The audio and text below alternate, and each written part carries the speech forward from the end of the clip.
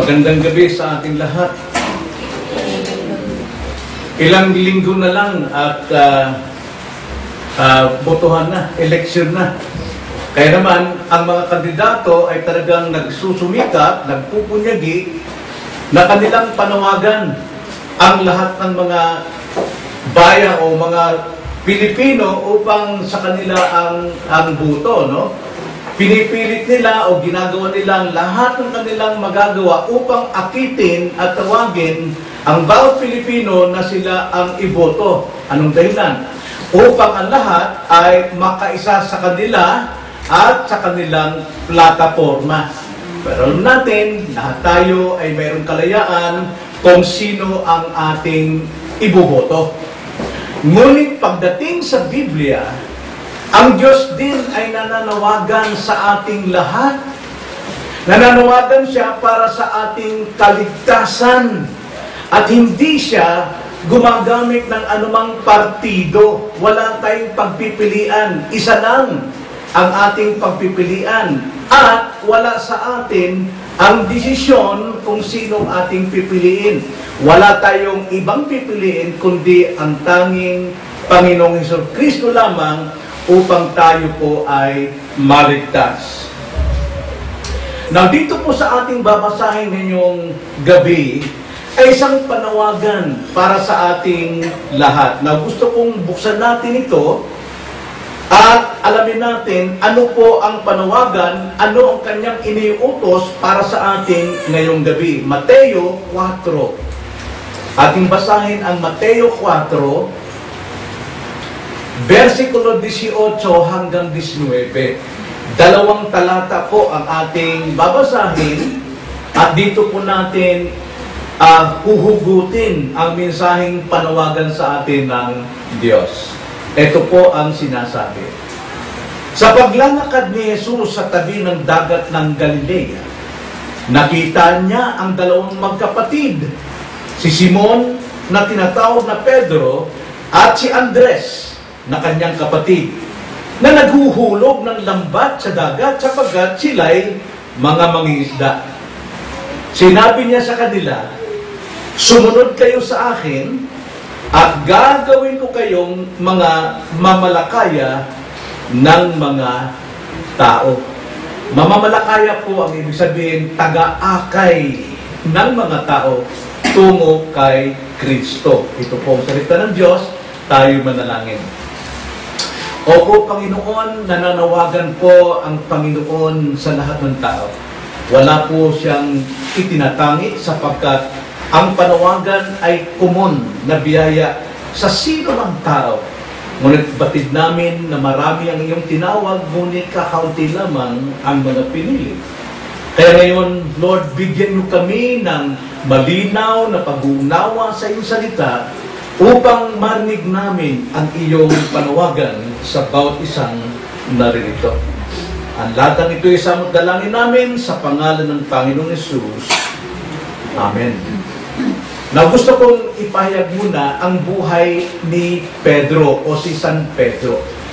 Nasa huling mga araw ni Jesus, nung siya po ay muling nabuhay na, ay kanyang kinatagpo ang mga alagad at kanya itong tinumbok si Pedro. At habang sila'y kumakain sa tabi ng dagat dahil sila'y nangisda at nagpunta ang Panginoon, tinanong niya si Pedro.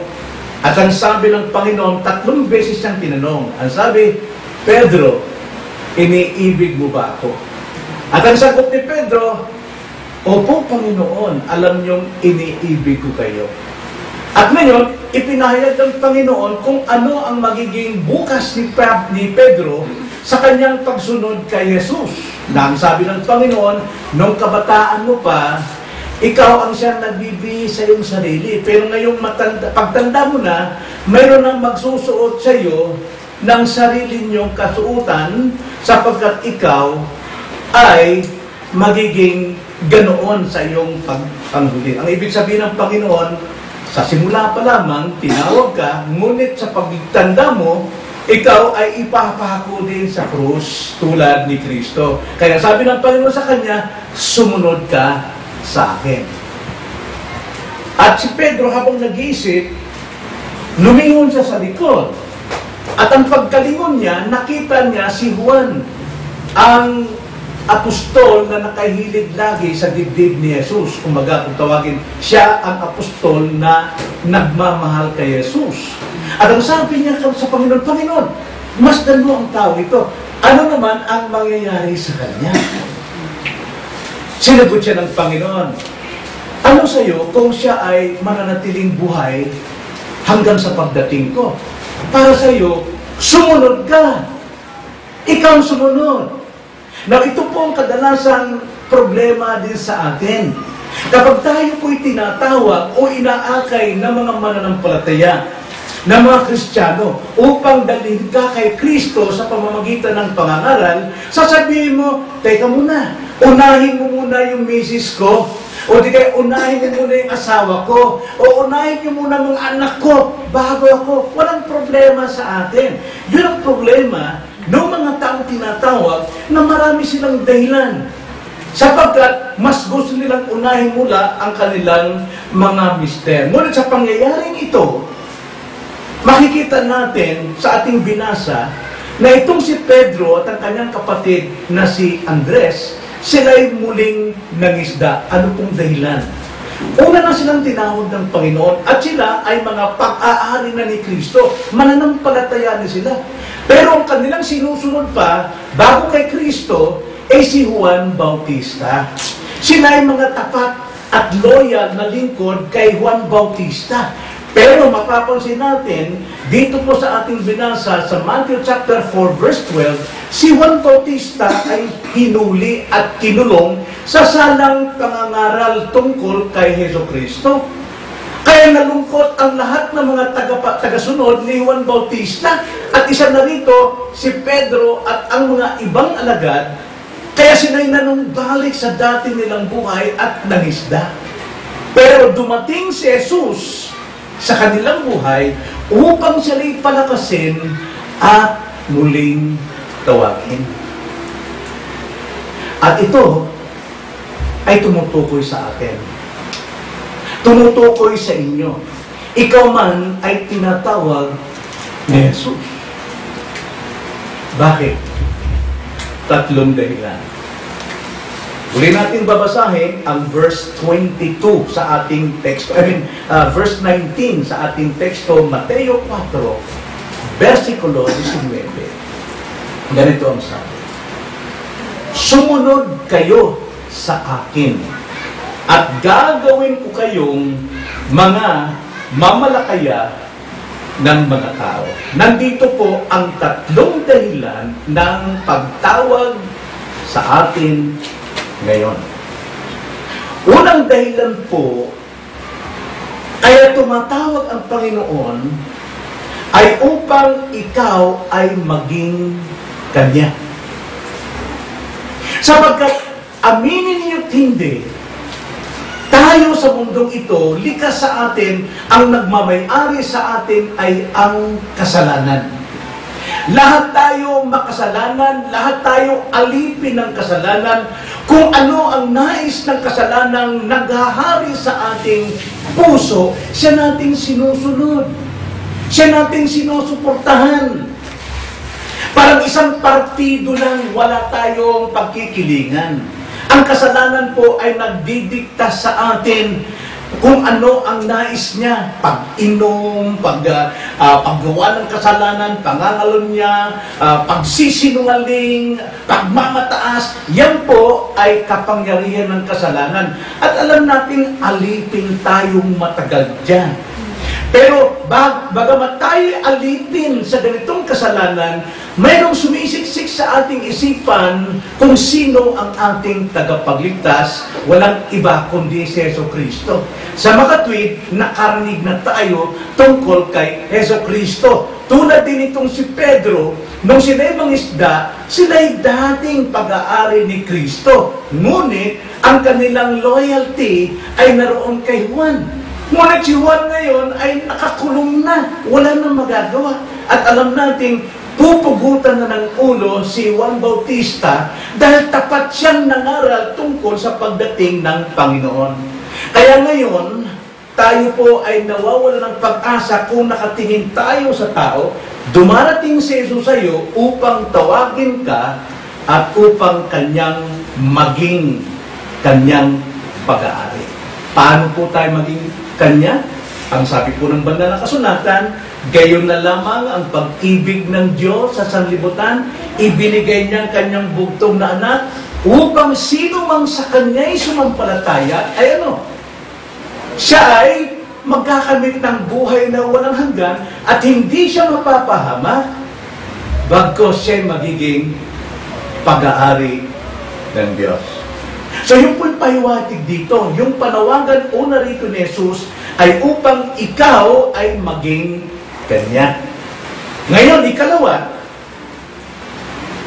ang Panginoon ay naguutos sa atin sa ikaldalawang dahilan upang tayo ay sumunod sa Kanya. Basahin natin muli ang ating talata, versikulo 19 lang. Sinabi niya sa kanila, sinong kanila? Kanyang pag-aari, mananampalataya. Sumunod kayo sa akin at gagawin ko kayong mga mamalakaya ng mga tao. Now, tandaan natin, itong kanyang tinawagan at inutusang sumunod sa kanya, ito ay mga mananampalataya. Kaya nga lamang, iba yung sinusundan nila. Sa unang pagkakataon, sino? Si Juan Bautista. Sapagkat si Juan Bautista ang unang tumawag sa kanila upang ipakilala si Jesus. Yun lang ang problema. Doon sila nagkaroon ng kanilang katapatan sa unang tumawag sa kanila. Sunod-sunuran sila kay Juan. At marami rin mga tao ngayon. Nabagamat sila'y namulat sa katotohanan si Jesus ang tagapagligtas dahil sa pangangaral o pagtuturo ng mga tao, ang mali po, yung tayo, hindi tayo sumusunod kay Jesus, kundi sumusunod tayo doon sa taong naghayag sa atin tungkol kay Kristo. At kuminsan, hindi lamang doon sa taong uh, nagpakilala sa atin kay Kristo, kundi ang ating sarili, siya nating sinusunod kung ano yung gusto natin. Di, dito po, sina Pedro, sila po ay bumalik doon sa lumang ugali. Sapagkat nakulong na ang kanilang guro, ang kanilang mga leader. Sila po yung mga alagad, pero nasaan sila? Sila po ay bumalik sa pangingisda. Yung kanilang kinaugalian at kinagigiliwan. Sila po ay nasa pansariling kapakanan, hindi pa nila abot at tanaw ang kanilang puso at buhay na dapat silang mga alagad ng Diyos para sa kapakanan ng mga tao tungo sa kaligtasan. Ito ang kadalasan ugali ng tao. Maring ito rin ang ugali mo, kaibigan. Bago ka maglingkod sa Diyos, sarili muna natin ang inuuna natin. Kailangan mangisda muna tayo ng mga isda. Pero ang kalooban ni Jesus, limutin ang ating sarili para sa kapakanan ng iba.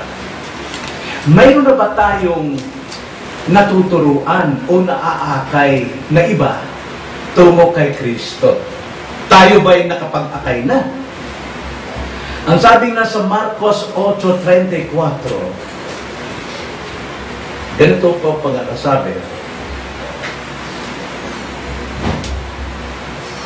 Tinawag niya ang maraming tao, pati ang kanyang mga alagad, at sa kanila ay sinabi, kung ang sino man ay nadanais sumunod sa akin, siya'y tumanggi sa kanyang sarili.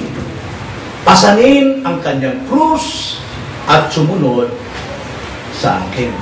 Kaya minsan tayo po ay hindi po makapag-akay ng mga kaluluwa dahil mas pinalaga natin ang ating sarili, ang ating pangalan, baka mamansahan, baka madungisan, kung tayo'y nag-aakay ng mga kapitbahay para kay Kristo, baka tayo po ay masira. Marami pong bigo at mga nanlalamig na Kristiyano dahil kanilang pinaglilingkuran ay kung ano ang kanilang gusto, kaya naman sila ay bigo. At marami ang tulad ni Pedro ngayon at Andres, naroon na lamang nangingisda. Salamat na lamang at dumating ang Panginoon sa kanila upang sila'y muling tawagin at para sumunod sa Kanya. So yun po yung ikalawa, no? Yung una, tayo po ay tinawag upang maging Kanya. Ikalawa, tayo'y tinawag upang sumunod sa Kanya. Ikatlo, tayo po'y tinawag upang maglingkod sa Kanya. Again, babasahin natin yung ating talata, paulit-ulit po dyan, 19, sapagkat nariyan po, andyan ang pahiwati. Ganito ang sabi. Sinabi niya sa kanila, yung kanyang mga, kanyang mga alagad, sumunod kayo sa akin.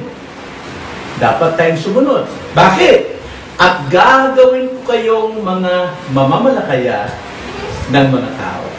Bakit po anong kanilang hinuhuli rito? Isda eh. Isda ang kanilang hinuhuli. Saan ba sila naglilingkod? Alam natin, naglingkod sila kay Juan. Ay? Pero nasaan si Juan? Nasaan na si Juan?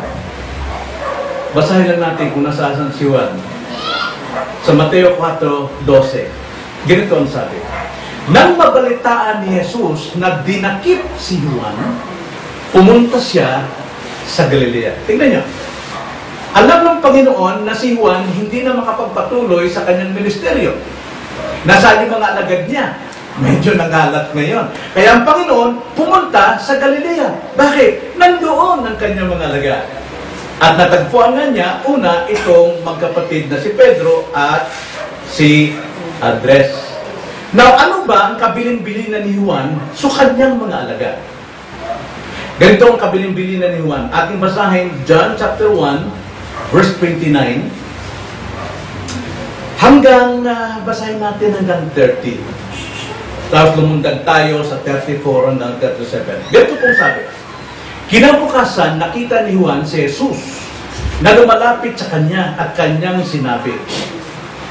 Sumigaw si Juan dito, narito ang kordero ng Diyos na nag-aalis ng kasalanan sa sanlibutan.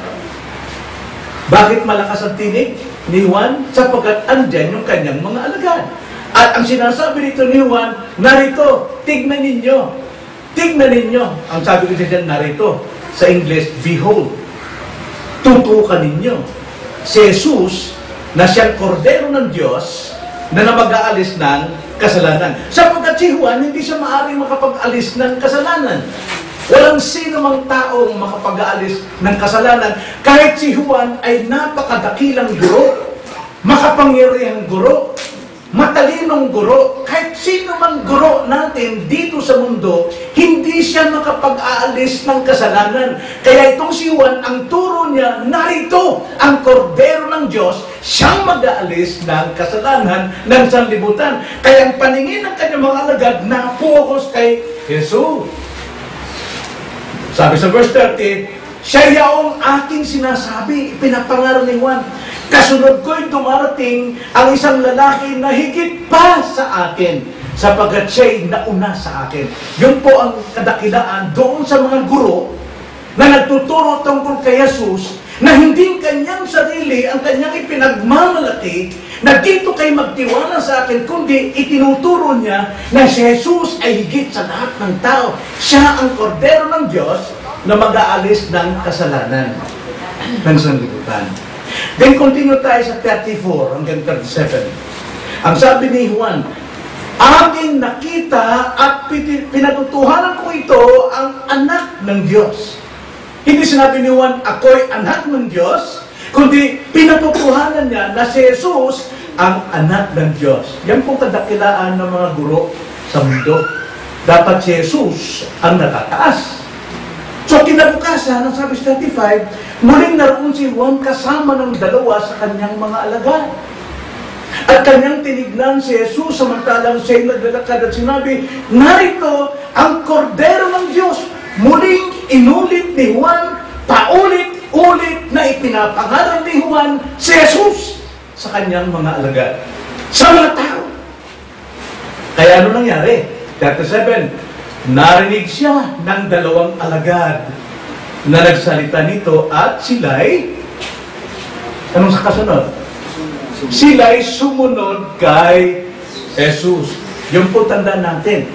Kung may nagtuturo sa atin tungkol sa karya ng Diyos, at ang tinuturo ng taong ito, ang lahat ng taong nakikinig sa Kanya, loyalty nila ay para sa Kanya, at hindi si Jesus, mga kapatid, hindi yan totoong lingkod o guro ng Diyos. Si Juan Bautista, inaamin niyang hindi siya si Kristo, bagos paulit-ulit niyang sinasabi at pinapangaral, narito ang kordero ng Diyos. At dahil dyan, itong dalawa ay sumunod kay Jesus. Now, natin kung sino itong dalawang ito. Sino kaya sa akala ninyo ang dalawang ito? Verse 40. Ang isa sa dalawang nakarinig ng pagsasalta ni Juan at sumunod sa kanya ay si Andres, na kapatid ni Simon Pedro. Sila yung unang alagad ni Juan. Na, ang ipinapakita rito, si Juan, yung totoong tagapangaral, taga o guro ng katotohanan, hindi siya nagtatayo ng kanyang sariling kaharian. Hindi siya nagtatayo ng kanyang sariling grupo upang ang mga membro ng grupo umasa sa kanya kahit mamatay na siya. Hindi po yan ang layunin ng Diyos.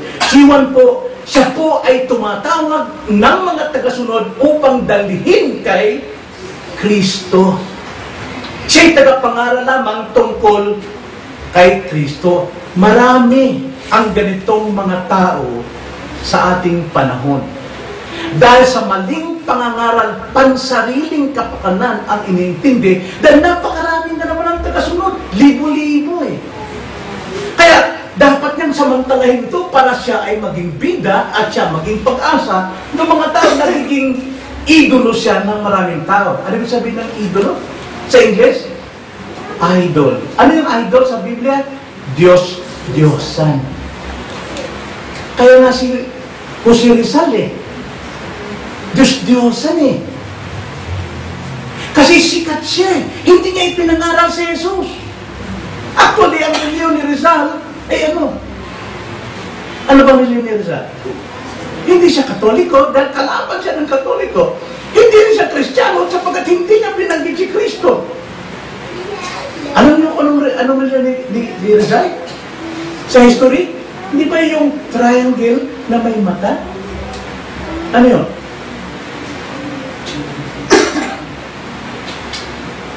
Kalimutan ko rin, ha? Mga kapatid, kanina lang naisip ko eh. Triangle na may mata sa gitna. Sa Amerika, in God we trust, di ba? Kaya nga ang Amerika is backslider sapagkat dati silang kumikilala sa Diyos pero nakikilala sila ay kumikilala ngayon sa dollar. Uh, Mason. Mason po si Rizal. Hindi sa Kristiyano. Pero dahil si Rizal po gumagawa ng kanyang kabayanihan para sa bayang Pilipino, ang Pilipino siya'y iniidolo. Kaya maraming sumasamba kay Rizal. Totoong bayani si Rizal, pero walang maligtas sa mga sumusunod kay Rizal. Kaya kung dapat mangyari? Kailangan mangyari na maalis ang idolo sa mata mo upang mabaling ang paningin mo kay Kristo. Naalala mo si Pastor Diego, di ba? Pastor Diego, pastor na siya pero laging nakasandal sa tatay niya dahil mayaman yung tatay niya, may agency sila, security guard. Tuwing magugutom si Pastor Diego, pati mga anak niya, punta lang sa tatay niya. Pero nung mamatay ang tatay niya, aba, bagsak si Diego. Wala na siyang pag-asa. Isang pastor na wala ng pag pag-asa? Bakit? Ang kanyang pangangaral si Kristo, pero ang pag-asa niya, tatay niya. Pero, dahil sa biyaya ng Panginoon, pinamulat kay, kay, kay uh, Pastor Diego, ay pinatutulong niya sa atin. Naaralan niyo, nag-preach sa atin doon sa sa, sa taas. Andox. Ang sabi ni Pastor Diego, ngayon po lang naunaan na sadyang inalis ng Panginoon ang tatay ko upang mabaling ko ang tiwala sa Kanya, kay Kristo. Hindi, na, hindi ito nagkataon na si Juan ay maalis sa paningin ng mga alagad upang mabaling ang kanilang pagtingin at pagtitiwala kay Heso Kristo na dapat nilang maging idol sapagkat yan ang totoong tagapagligtas. Kaya itong aral sa atin, mga kaibigan, marahil na yon mayroon kayong pinagtitiwalaang pananampalataya o pananawala sa nakaraan. Pero tidak, magbabago kayo sapagkat lagi kayong naririto sa gawain, pero hindi pa kayo maka-alis doon sa nakaraan. Itong sabihin ko sa inyo, huwag kayong manatili sa nakaraan. Sana pagkat ang nakaraan hindi maaring makatutulong sa inyo, kundi ang nakaraan ang siyang magtuturo sa atin sa kinabukasan. At yan ay si Kristo. Hindi kalooban ng Diyos na magtiwala tayo sa nakaraan. Like for example, na lang, kilala niyo si Joshua sa Lumang Tipan? Yes. Nung mamatay po si Moises, si Moses po ay naging idol eh, at that time eh. Kasi siya yung nag-iisang tumatayo sa bayang Israel. At siya na tinawag na tagapagligtas ng Israel. Ang sabi ng mga Israelita. Kita mo naman, dalawang milyon, ano? Pero nung mamatay si Moises, anong sabi ng Diyos kay Joshua? Ating basahin Joshua chapter 1, verse 1 hanggang 2. Ganito ang sabi. Joshua chapter 1, verse 1 hanggang 2. Nangyari nga, pagkamatay ni Moises na lingkod ng Panginoon, ang Panginoon ay nagsalita kay Josue na anak ni Nun, na lingkod ni Moises, na sinasabi. Ano po nangyari? Nung mamatay si, si Moises, hindi po natigil ang biyaya ng Panginoon sa mga tao, kundi ang Panginoon ay tumitingin doon sa mga sumusunod, doon sa mga naglingkod kay Moises, at ang sabi ng Panginoon kay, kay Josue, ang sabi sa verse 2, si Moises na ating lingkod, patay na. Patay na, Moises. Tumindig ka! At tumuwid sa hanggang ito, ikaw at ang buong bayan ito hanggang sa lupain na aking ibinibigay sa kanila sa mga anak ni Israel. Ano pong sinasabi ng Panginoon? Yung ipinangako ko kay Moises, na lupang pangako, hindi na si Moises ang maghatid sa inyo. Tumindig ka na, Josue. Ikaw ang mangunguna upang ipangana mo sa bayang Israel ang ipinangako ko sa iyo. Ano po pinapakita? Kung tayo po'y namumuhay pa sa nakaraan, mananatili tayong paralisado. Dapat na tayong tumayo ngayon sa bagong tumatawag sa atin. Sino tumatawag sa atin? Si Jesus! Sapagkat siya yung nangangako sa atin ng buhay na walang hanggan. Kaya nga tumayo tayo, huwag tayong manatili sa ating nakaraan. Yan po ang aking pong panawagan sa atin. Now, tingnan natin. Kung si, mismong si uh, Juan ay talagang tunay na lingkod ni Jesus, si hindi makapagliligtas sa sino mang tao. Gaano pa kaya ang mga tao o mga guro na sila ay nag, nagpapanggap na sila ay totoong lingkod ni Kristo pero hindi si Kristo ang tinataas sa kanilang pagtuturo. Kung tawagin sila ay mga bulaang tagapagturo.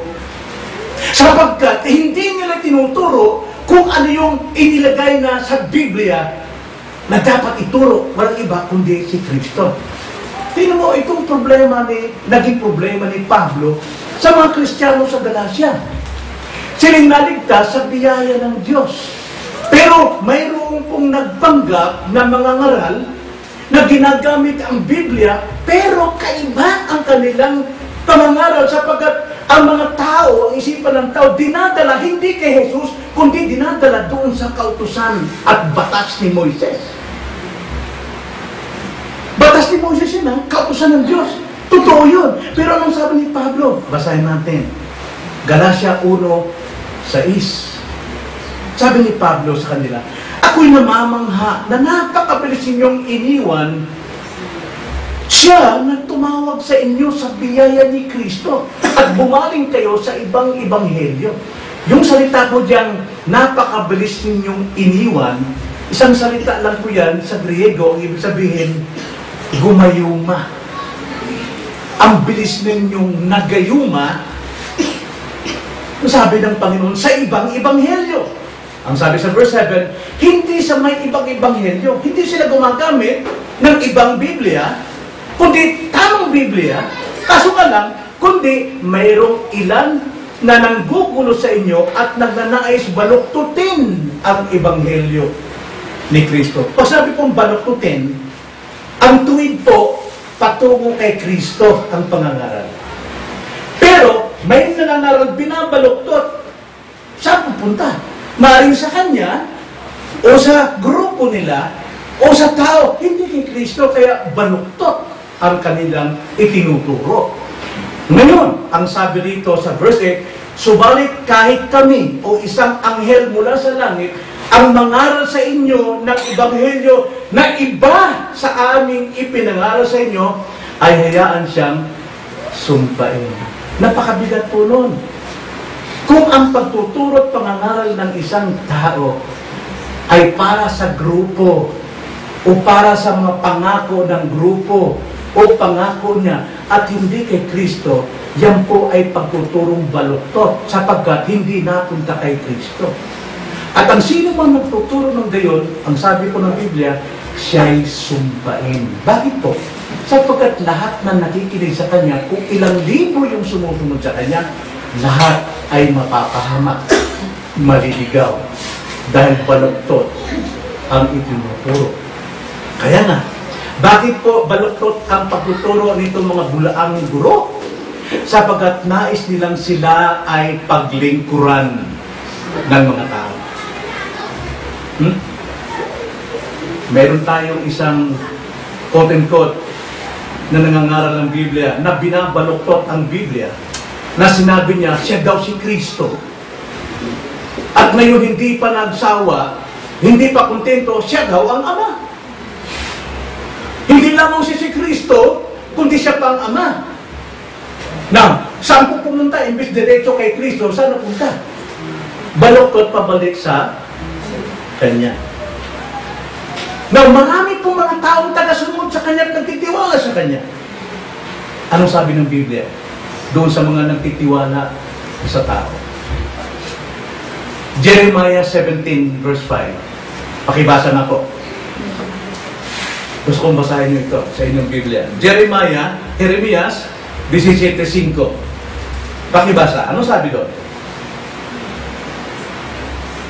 Ganito ang sabi ng Panginoon, Sumpain ng tao na nagtitiwala sa tao at ginawang kalakasan ang laman at ang puso ay lumalayo sa Panginoon. Ano sabi? Sumpain ang tao na nagtitiwala sa tao. Sino yung sinusumpa doon? Yung bang nangangaral o yung sumusunod? Sumusunod. Bakit? Dahil yung nagturo, nakasumpa na eh. Ang sabi ni Pablo sa Galatians 1.6, sinumpa na siya. Kaya pati yung mga tinuturuan na tagasunod, ang sabi diyan, sumpain ang tao na nagtitiwala sa tao at ginagawang kalakasan ng laman. Itong mga taong ito, ginagawa nilang kalakasan si Kibuloy. Maring ginagawa nilang kalakasan si Jose Rizal. Kaya ang sabi rin, sumpain ikaw na ginagawa mong kalakasan ng tao. At ang puso ay lumalayo sa Panginoon. Bakit lumalayo? Baluktot na aral. Hindi po diretso. Ang diretso po ay si Jesu Cristo. Hindi po yung otro diretso. baluktot po yun. Hindi ko nagtataas ang, ang ano, bahala kayo kung sila. Hindi ganyan ang totoong Kristiyano. Basahin natin 1 Corinthians 3, verse 5 to 8. Ang totoong lingkod ni Kristo o mga alagad ni Kristo tulad ni Pablo at ni Apollos, ito ang sabi ni Pablo, ako na lang pong babasa. Verse 5 hanggang 8. Ano nga ba si Apollos? At ano si Pablo? Mga lingkod na sa pamamagitan nila ay sumampalatayan kayo. Bakit po? Sapagkat si Pablo at si Apollos, nagtuturo sila diretso kay Kristo, hindi sa kanilang galing at hindi sa grupo. Verse 6, Ako ang nagtanim, si Apollos ang naging ang nagdilig, ngunit ang Diyos ang nagpapalago. Okay? Si Pablo po ang nagtanim ng ebanghelyo sa puso ng mga tao. Si Apollos naman ang nagpapatibay, nagpapalakas doon sa pundasyon na sa tao. Pero sa katotohanan, ang Diyos ang nagliligtas. Verse 7, Kaya't walang anuman ang nagtanim o ang nagdilig, kundi ang Diyos na nagpapalago. Verse 8, Ngayon, ang nagtatanim at ang nagdidilig ay iisa ang layunin. At ang bawat isa ay tatanggap ng kanyang upa ayon sa kanyang paggawa. May gantimpala para kay Pablo na nagtanim at kay Apollos na nagdilig. Pero ang pinamakalagaga doon, sila'y diretso kung mangaral si Kristo. Kaya naman, sila po ay iniligtas ng Panginoon. So, ang totoong Kristiyano, totoong lingkod ng Panginoon, hindi siya nagtuturo tungkol sa kanyang galing, tungkol sa kanyang husay, upang lahat kayo magkaya, sumunod kayo sa Kanya, o di kayo sa mga pangako niya, hindi po. Kundi ang kanyang pangangaral, si Kristo. At kayo doon sa Kanya magtiwala, doon kayo sumunod sa Kanya, sapagat si Kristo lamang ang may pangako para sa inyong kaluluwa. Ano nga? utos ni Kristo na sa Kanya tayo sumunod. Ano muli ang ating text? Verse 19, ang sabi nito, sumunod kayo sa kanino na? This time, sa akin. Hindi na kay Juan. Hindi sinabi rito sa ating text, verse 19 ng uh, Matthew 4. Sinabi niya sa kanila, sumunod kayo sa akin. Hindi sinabi ng Panginoon, sumunod pa rin kayo kay Juan. Sumunod kayo sa iba. Sumunod kayo sa inyong sarili. Kundi ang sabi ng Panginoon, sumunod kayo sa akin. Now, bakit? Magbibigay lang ako ng ilang dahilan kung bakit kay Jesus tayo dapat sumunod. Well, sa akin, bilang pastor, ay maniwala kayo sa aking sasabihin. Pero kung ako po ay magtuturo sa inyo, nagtaliwas po sa kalooban ng Diyos, huwag kayong sumunod sa akin. Ang sundin ninyo ay ang Panginoon. Kaya nga si, pa, si Pedro, si Juan, Santiago, nung sila mangaral, pinatigil sila ng gobyerno na mangaral. Ikinulong sila, ginulpi sila. At pinagbantaan sila ng gobyerno ng Romano ang sabi, tumigil kayo sa pangaral. Pero sabi ni Pedro, mas higit kong susundin ng Diyos kaysa sinasabi ng tao. Kaya nga, kung ang pangangaral po dito sa pulpito ay hindi po ayon sa turo ni Kristo, sunod kay Kristo, umalis kayo dito sa akin. Sapagkat, meron tayong dahilan, malalim na dahilan kung bakit kay Kristo tayo sumunod.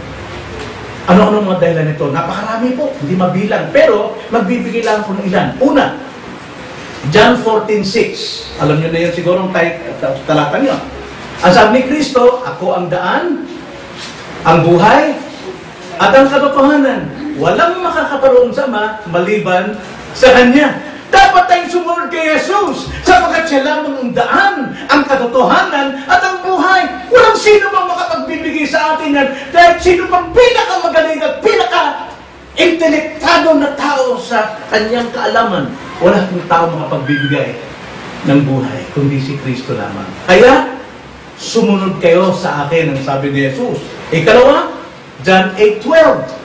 Ang sabi ni Kristo, ako ang ilaw ng sanlibutan. Ang sino mang sumusunod sa akin, kailan may hindi na madadapa. At ang lumalakad sa kadiliman ay madadapa, ngunit ang lumalakad sa liwanag ay lalakad sa katotohanan. Sino po nagsasalita nito? Tanging si Jesus lang po ang ilaw. Ang ilaw ng bawat tao sa atin, kaya marapat tayong sumunod kay Jesus. At ang sabi sa Mark 8.29, si Kristo po, si Jesus ay ang Kristo. Wala pong ibang Kristo na makapagdadala sa iyo sa langit, na makapagbibigay sa iyo ng kaligtasan maliban kay Jesus Kristo. Hindi pong Kristo sa sabungan. At ang sabi sa John 6.51, ano pong sabi? Sabi ni Kristo, Ako ang tinapay ng buhay. Ang sino mang kumain ng aking laman at uminom ng aking dugo, kailan may hindi na mag mauuhaw at magugutom. Ako ang tinapay ng buhay. Hindi po sabihin na kakainin natin katolik. Sino bang sumampalataya sa akin na tinapay ng buhay kailanman hindi siya magugutom? John 6.51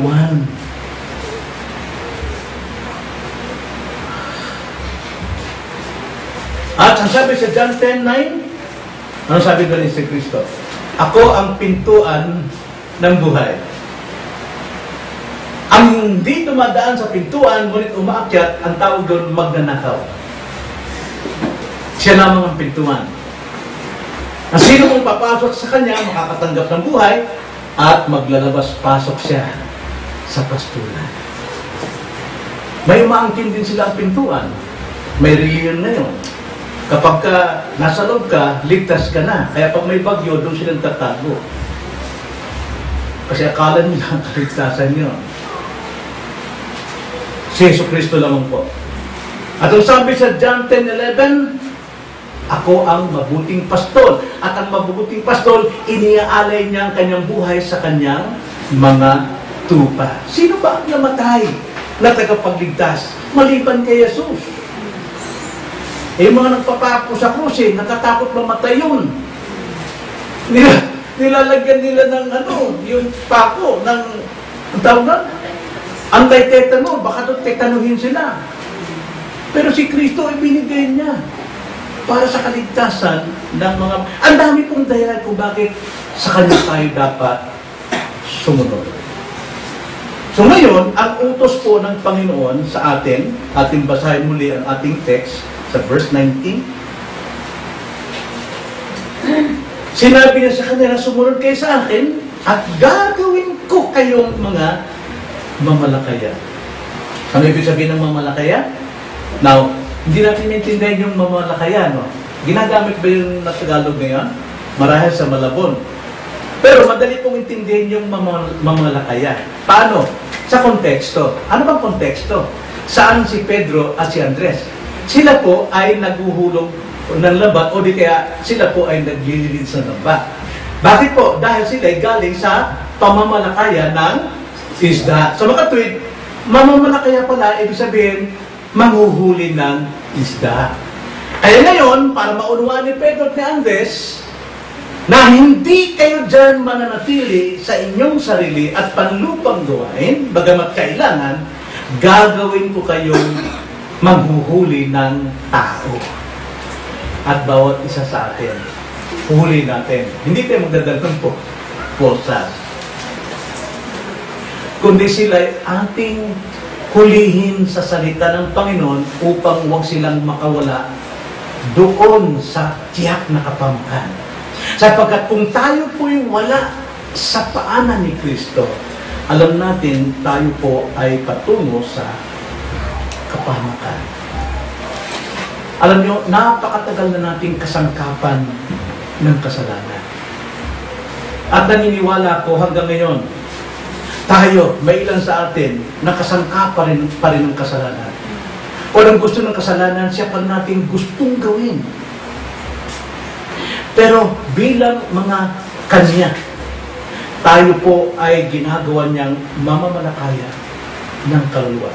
So dapat tayo po ay malaya na sa kasalanan sapagkat tayo pag-aari ni Kristo, tayo sumusunod kay Kristo, kaya naman tayo po ay maglingkod kay Kristo. Dapat na. Kaya tanong ko, kayo ba'y tagasunod ni Kristo? Kayo ba'y tagasunod na ni Kristo? Kung hindi, kanino kayo tagasunod? Makikita yan sa buhay natin. Marinig yan sa ating mga salita. Makikita sa ating mga gawa kung sino ang ating sinusundan. Kung kristyano ka na, kang makasumusunod. Sa pastor, doon ka loyal, kahit anong sabihin ni pastor, aba, binigyan tayo ng wisdom na kilalanin natin ang pula at ang asul. Kilalanin natin ang puti at ang itim. Ibig sabihin, kilalanin natin ang sinasabi ni pastor kung ito ba'y sa Panginoon o sa kanyang sarili. Sundin natin ang sa Panginoon kahit magalat sa pastor sapagkat siya mismo ay lumalabas sa kalooban ng Diyos. Huwag tayong sumunod na sa mga aral ng tao. Kalimutan natin nakaraan. Tayo po'y alipin noon. Ngayon tayo po'y magpaalipin at maging karapat-dapat sa ating Panginoon. Yeso Cristo. Amen? Tayo manalangin. Opo, Panginoon, tunay na na nakikilala namin ang aming sarili kung kanino po kami alipin. Sino ang aming sinusunod. Oh Lord, kami po ay malaya na sa kasalanan. Pero sinusunod pa namin ito at kadalasan naalipin ang bahagi ng aming katawan. Tulungan mo kami. Nabiging lubos na pag-aari ninyo na sumusunod sa inyo at naglilingkod sa inyo. Ito'y sa pamagitan ng aming pong pagmamahal sa ginawa ninyo sa aming buhay simula noon hanggang ngayon. Huwag po kaming maglingkod sa tao lamang na hindi sumusunod sa iyong kalooban sapagkat sinusumpa ninyo mga taong sumusunod sa kapwa-tao ng tao ginagawang kalakasan ng kanilang laman kaya sila ay nalalayo sa Panginoon. Tulungan kami na maging masunodin sa inyo. Kung aming dalangin sa pangalan ng Panginoon Jesus.